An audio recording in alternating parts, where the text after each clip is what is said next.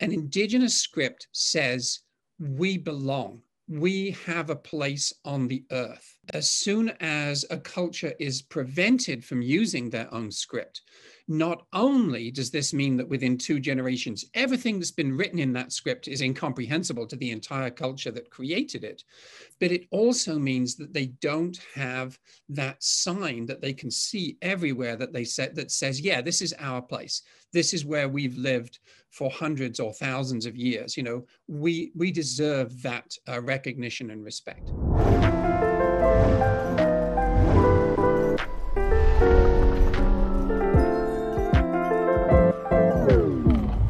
Welcome, Tim. How's everything going? Uh, it's actually it's an amazing time right now because I'm in the middle of doing three talks for the Library of Congress, ah. and I did one two days ago, um, and it was extremely successful, and they're they're really psyched. The stuff that I talk about, of course, is uh, of great interest to librarians and people are interested in the fact that I'm coming at it from some very, very unusual directions seems to have made them very uh, excited. So there's a, it's a time of, of fervor and ferment. How many languages do you speak?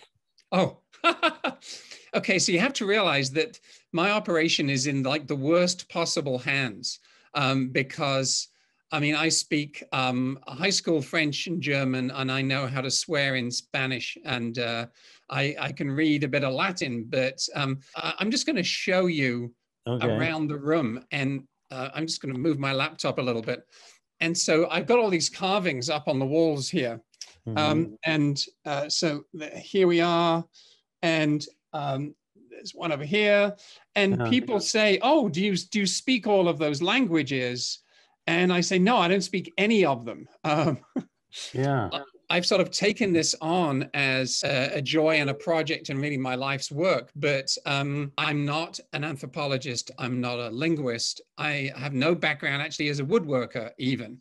Um, I'm a writer and a guitarist. Um, all of this is stuff that I'm learning as I'm going along. And the, frankly, the fact that I don't have traditional training in these areas has turned out to be enormously valuable because I ask questions that um, the, the professionals don't. And in particular, by carving a piece of writing in wood, it forces you to not only look at it and be with it, but also to think about it and to recognize certain features of it as an extension of the human hand, as an extension of the shoulder, the physics of the act of writing. Um, right. It's there are many, many things that have come out of this simply because I'm going about it in a strange way. But I would have assumed you spoke like all these different languages, but how do you get how do you get interested in in languages? I mean, I can understand, you know, uh, high school French, guitar, dead languages or or almost lost or languages and also some swearing. I think yeah.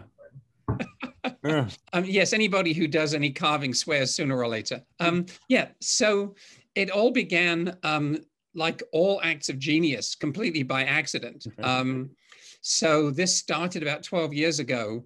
Uh, Christmas was coming up and uh, I had no money. Luckily, I grew up very poor and my um, my family would we would always make Christmas presents, you know, for each other. Right. And so I thought, okay, I'll, I'll make Christmas presents. And my then wife wanted a, a, shingle to hang outside her therapy practice, and so I thought, I'll carve her one. I'll try. I'll try carving her one. Right. And as I was doing that, my um, older daughter, who was a senior at RISD, said she wanted a sign to go up above her table at the senior show so she could sell some merchandise that she had designed. And then my younger hmm. daughter said she wanted a sign, and and pretty much everybody in my family it was like, oh yeah, that this is this is Christmas. So then, having done that and discovered that I really enjoyed it and people liked them. I then started um, carving people little monograms in, in Chinese characters. And what I discovered was that the act of carving a Chinese character is completely different from the act of carving something in the Latin alphabet because the Latin alphabet is essentially created mechanically. It's based on inscriptions on the tombs of Roman emperors, which were made with straight edges and right angles and, and mechanical devices. And Chinese is a script, which right. is an extension of the movement of the of the human hand and the and the movement of the brush. And so I just started getting interested in this and I wound up doing more carvings. And then I discovered on omniglot.com that probably at the time I thought maybe a third of the world's alphabets were like no longer taught in schools, no longer used for official purposes, in some cases outright banned. And I thought, I'm going to carve some of these just as a way of drawing attention to this issue and discovered that no one else in the world was asking this question, you know, what, what is happening to the world's alphabets? Why were they banned? Writing is such a manifestation of individual and cultural identity that it becomes a, a tool in any power struggle. And so, for example, at least two occasions in India, there have been power struggles where um, a ruling party or a ruling a, a ruler has ordered that anything written in any other than the official script be burned and anybody writing in it to be thrown into jail as recently as you know mid 20th century. We know of at least four people who have created writing systems for their culture for their people for you know for their language culture who have been killed and others who have been um, thrown in jail even as recently as 20th century. So writing is so deeply embedded in our sense of who we are and what is important because after all if something is important we write it down right? So it's a selective thing that when we see the letters that we are used to recording these um, th- these important um, elements in they mean something to us even if we can no longer read them. So you go to ireland and you can buy trinkets um, like earrings in, in the Ogham script, even though nobody can read that and it hasn't even been fully deciphered. You go to Croatia and there is a sculpture park. It's like a multiple kilometer walk um, up on the mountains above the, the, uh, the sea. There are these huge sculptures of letters in the Glagolitic script even though virtually nobody uses that script anymore because it is so much a visual reminder of the identity of the people. Wow. Have you have you gone there? I was there before it was built, hence the gray hairs. Um, right. But uh, yes, I was actually hoping to go there during the, the COVID summer. I was going to go there or Mongolia, um, but right. neither of those happened. What is it? What is on the website exactly? So we have two websites, um, sister websites. The the one that I like to send people to um, first is endangeredalphabets.net. So that is our online atlas of endangered alphabets. So after I started doing these carvings and going out and doing exhibitions and talkings about this, people would say to me, you know, this is unbelievable. I had no idea about this stuff. Where can I find out more about it? And there really wasn't anywhere. So we created um, a website uh, based on a, a Google Maps type plugin where you go there and you can see, you know, the world map. And there are pins dropped all over the place. And you click on the pin and then it takes you to a profile of that particular script and a gallery of, of examples of it, and then links that um, tell you more about it or places you can go to learn it or right. um, articles of that kind. Now, what that's what's in it. What isn't in it? That's a great question. There are several things that are not in it. I don't deal with extinct scripts because this is really an issue of it's an issue of human rights and social justice as much as anything else. Um, in a sense, it's more that than it is linguistics. And so anything that's really extinct um, is sort of beyond my range. What else isn't in it is all of the mainstream languages and scripts that people are steered towards every day. Um, so I'm really interested in, you know, the word riparian, you know, the, the stuff that exists on the coastline between one and the other.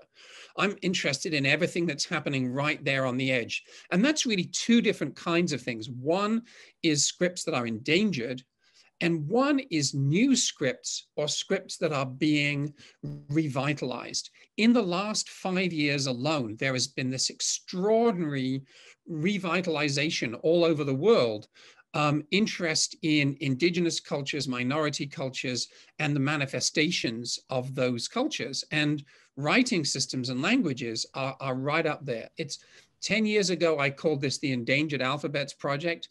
That's already beginning to seem a little dated because so much is happening right now. So that that's an important thing that you bring up, right? And we're seeing it now even more and more. This sort of all of the identities, people really wanting to to really a look at their heritage, their roots, and then you know how. And so, are you seeing an uptick? And are more of these uh, endangered, if you will, alphabets showing up? Um, you know, what sort of what's happening just as a progression? Yes. So um, different things are happening all over the place, and it very much depends on the culture and um, the, the local power systems. So for example, if you go to Tahlequah, Oklahoma, um, and you go downtown, then the street signs there, um, a number of them are in, um, in English and in Cherokee. The post office has a sign in Cherokee. The Bank of America downtown has Bank of America in Cherokee. Um, because Tahlequah is the home of the Cherokee Nation, or at least the, the, the western um, part in India, what you'll find is that um, there will often be one person who is so committed to his culture's identity, because it's usually a guy, that he's created a script for his people. And in fact, he may well have created glyphs or letters that have symbols that are familiar, like the shape of a hornbill's beak, for example, or, or something so it's easier to learn. And that person may be just teaching it through a Facebook group to 20 other people.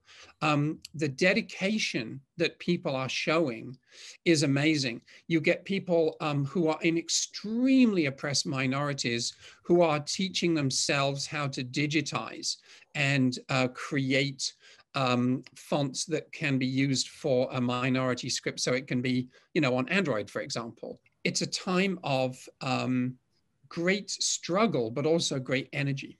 Because you were talking about the the writing part, you know, the hand, the written, but but now we're having to digitize. And I, I was just thinking of places, let's say in Myanmar or whatever, where people are trying to get each other's messages and they're using these other languages also as code. But I I don't even know if that applies as an idea. So well, actually, I, will I'll pick up on that idea and take one step sideways, if I may.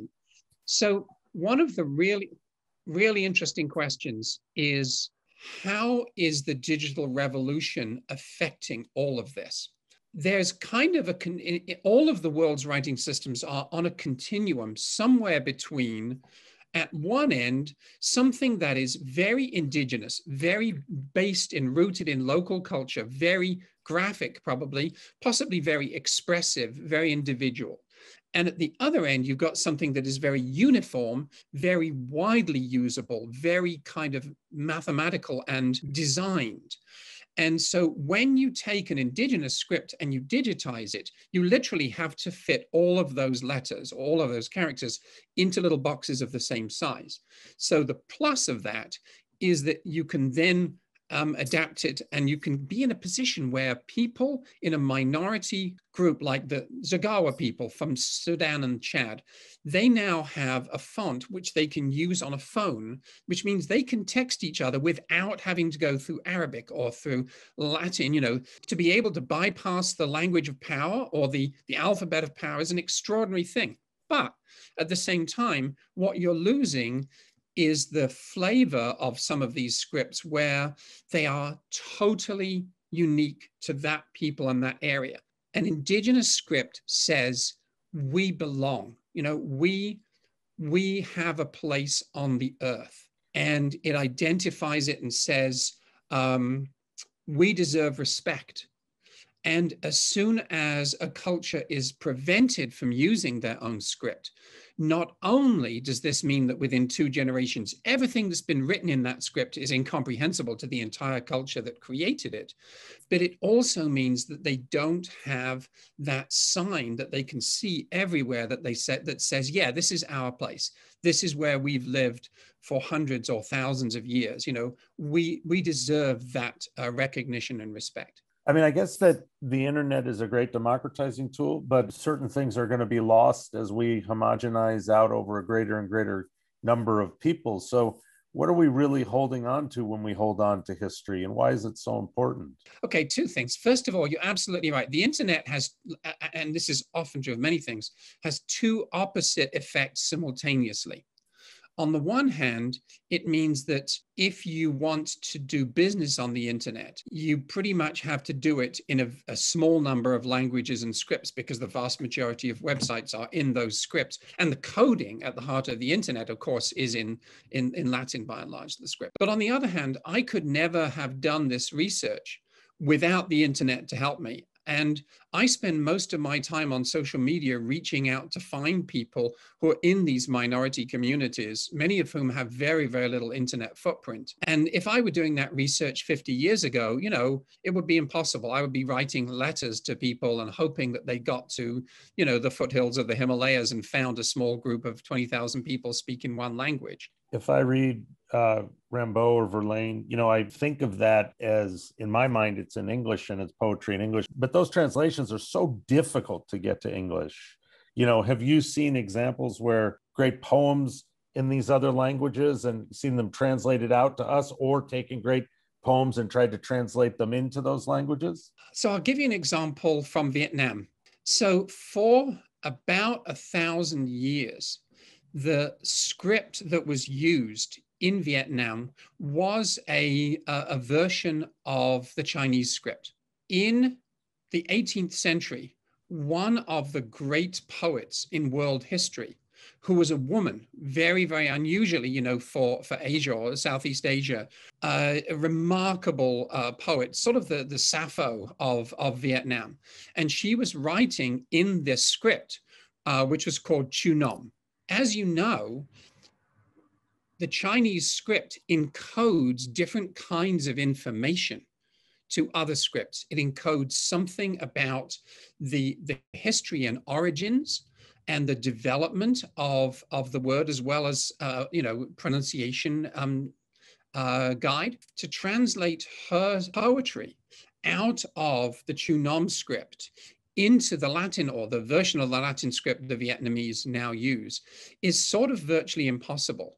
So one of the things that um, is misleading about the whole translation industry is that we sort of assume that a good translator can um, take meaning from one language and put it into another. But if the visual symbols themselves are part of the meaning, then that's like saying, how would you translate a painting? And in Africa, you have a number of scripts where what they're doing is conveying meaning not with what we think of as letters, in other words, symbols that have sounds, but um, by using symbols that themselves are a kind of a shorthand that have ideographic meaning um, that can be understood by people who are speaking multiple different languages from the region. They're kind of like European road signs, you know. Right. That really expands our sense of what writing actually is or could be. This is institutional memory, right? It's the memory of the place. Like if you're not out collecting these languages, you know, are they, you know, will they just eventually fade out? How do you collect them? Is that a a person saying the language? Is it a, a written pictograph? Is it, you know, how do I record a language for right. you? Again, I want to stress the difference between languages and scripts, right? So, endangered languages, that's a pretty well defined field now. It's been going since, it was pretty much invented in Australia in the 1960s. So, that's pretty well. Endangered alphabets is something that has a lot of overlap, but is in many ways completely different.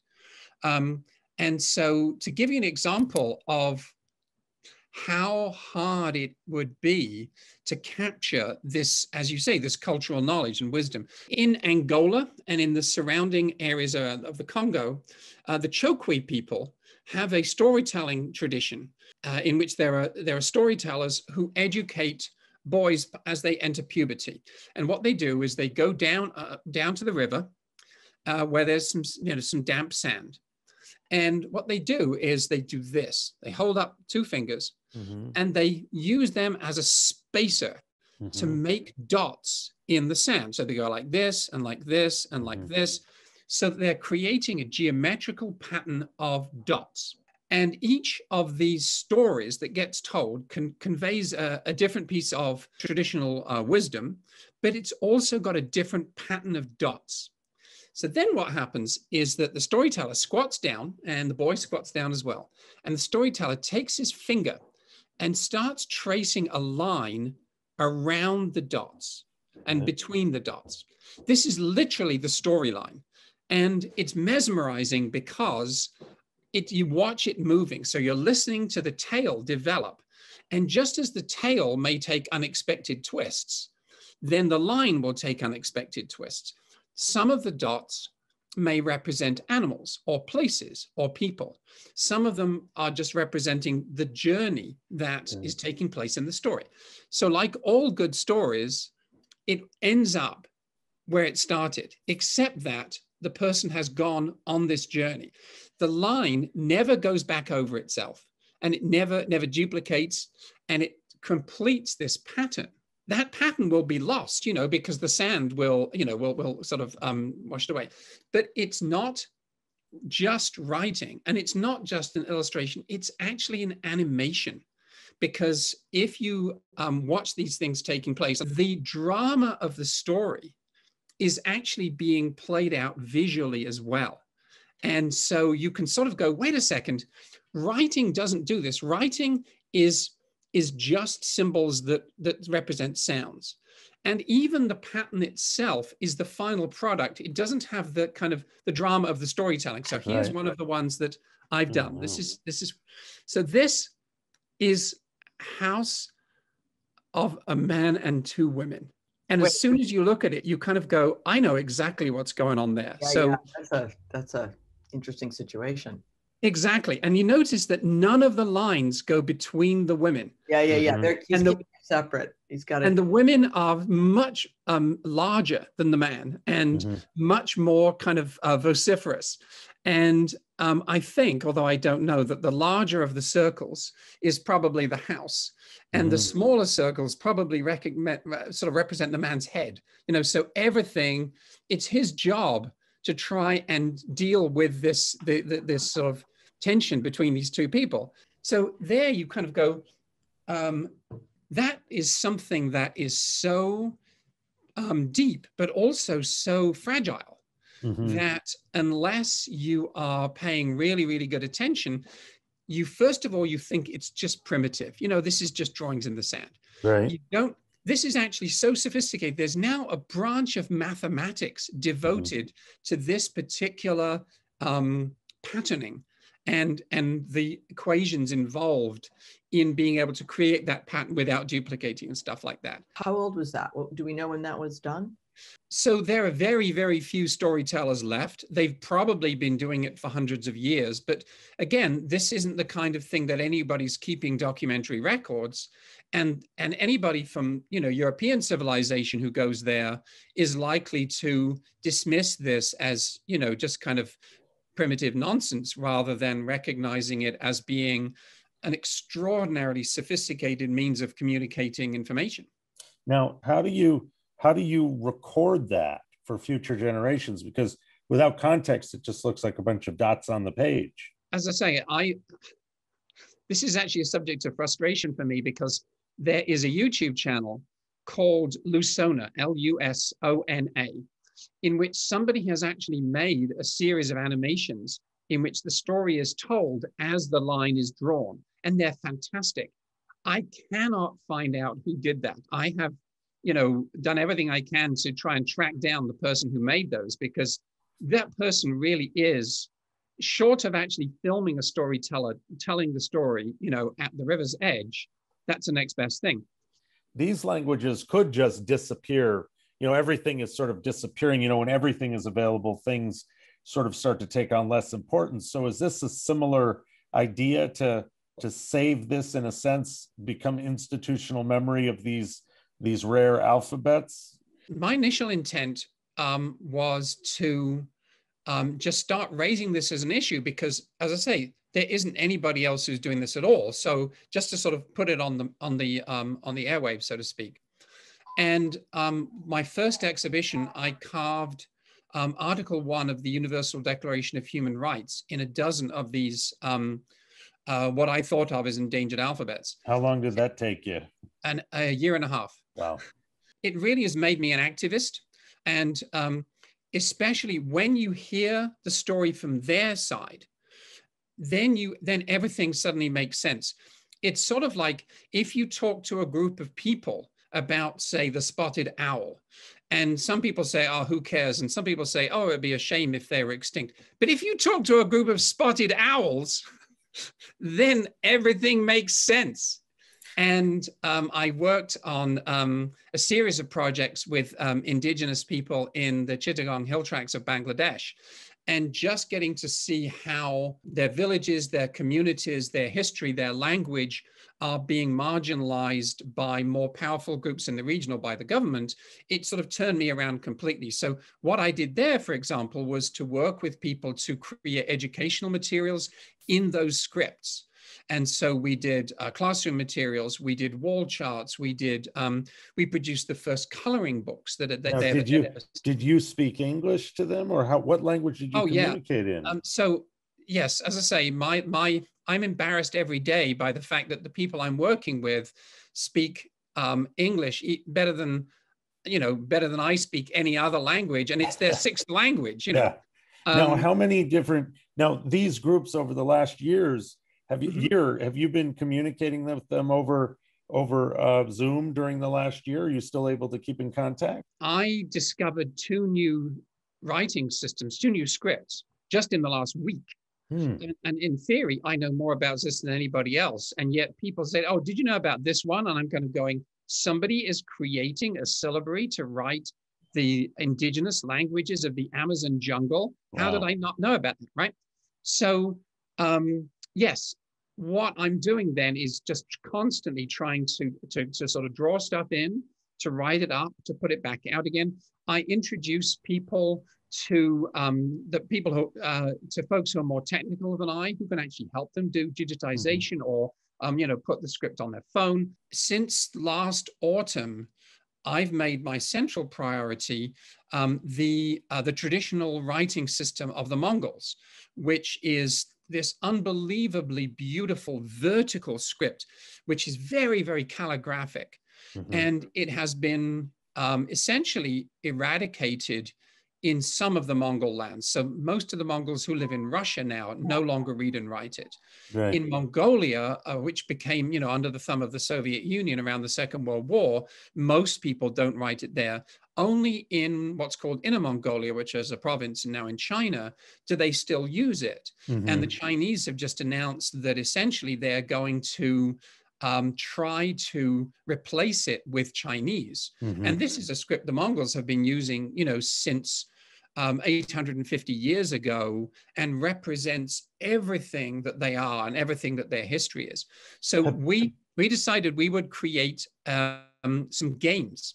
These are games that um, reinforce and educate about the, not only the Mongol language and script, but also the culture, the mythology, the history. It's an extraordinary culture, very rich in, in Buddhism, for example, incredibly rich culturally it's the home of most of the like most important dinosaur discoveries yeah. so are you finding similarities in these alphabets that you wouldn't necessarily think that lead you to think this is maybe an organizing principle for how human beings think? Not really, and that isn't the point. So the point really, uh, the, the, the organizing principle is really about power and social justice. The fact that um, the reason why these scripts are rising or falling or being banned or being revived, that's pretty universal.